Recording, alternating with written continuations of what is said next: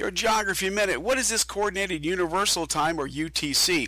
Coordinated Universal Time is the time standard commonly used across the world. It is not a time zone.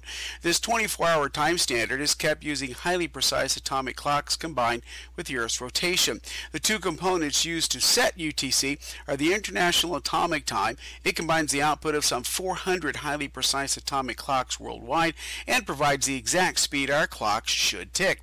The other is called the Universal time. It's also known as astronomical time or solar time, and it refers to the Earth's rotation. This is used to compare the pace provided by the International Atomic Time with the actual length of a day on Earth. In 1960, the International Radio Consultative Committee formalized the concept of UTC, and it was put into practice the year after. The name Coordinated Universal Time was officially adopted in 1967.